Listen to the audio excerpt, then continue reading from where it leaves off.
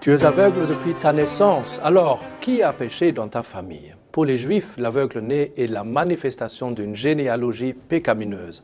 Bonjour la culpabilité. Mais réfléchissons.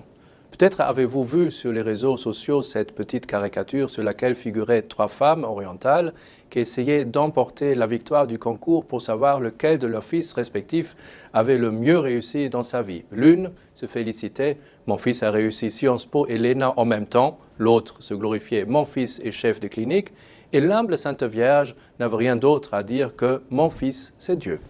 Évidemment, Marie n'a pas voulu briller par son privilège d'avoir un tel fils extraordinaire et ne l'a pas proclamé sur la place publique, mais que cet enfant Jésus était quelqu'un de bien particulier, extraordinaire, et si l'on veut surdoué, les villageois de Nazareth et les scribes de Jérusalem l'avaient tout de même bien remarqué. Comment est-ce possible que ce fils du charpentier, qui n'a jamais fait des études, soit si brillant dans les Saintes Écritures?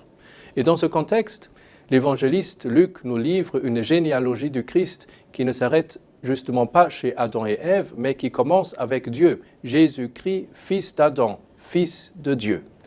Avant Adam fut Dieu. Et voilà le véritable commencement de la généalogie du Christ, unissant en, en lui l'humanité et divinité, généalogie humaine et généalogie divine. Par sa naissance, le Christ a greffé toute généalogie humaine à son éternelle généalogie divine. C'est pourquoi nous sommes tous fils et filles de Dieu. La généalogie de Jésus-Christ est la généalogie de chacun de nous.